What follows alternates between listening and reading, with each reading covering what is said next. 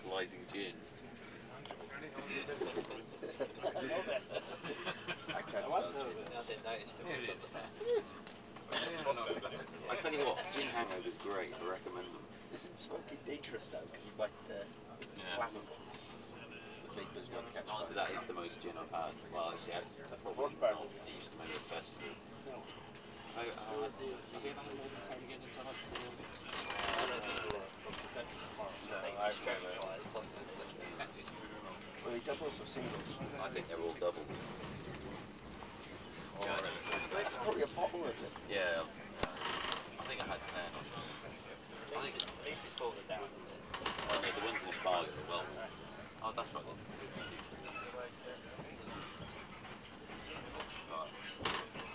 So what are you starting on this morning? Um, gin and Tottenham. no, um, the thing is, the problem is I'm in a very delicate situation. I can't actually do the normal thing and have a coke because they're awful. I think they need to stop with it. Cider. It's very lovely.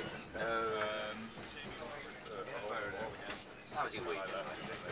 Um, sporadically, quite strange and very unusual. Um, it's like I've been back in the office when I haven't been in the office for quite some time, so that was quite nice. And then I, I had my own work to do, and I was going at my own pace. My boss is um, going on maternity leave. Oh. They found a replacement for her. Is Alison. Uh, yeah, Alison. And uh, she don't come in with a replacement ever.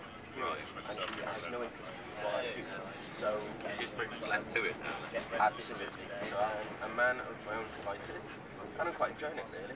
Things getting done. Yeah. And um, Interference? no interference or anything. That's good. Yeah, yeah. So that was quite good.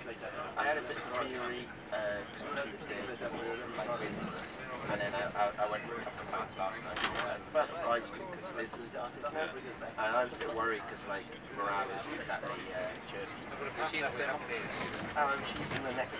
Oh, really? yeah. So she didn't know that, but um, Florence Hill is quite happy, as in on the outward appearances, is um, she's quite pleased, as in Yeah. it's no worse than what she knew before, and she does notice that there is a little bit of downheartedness, but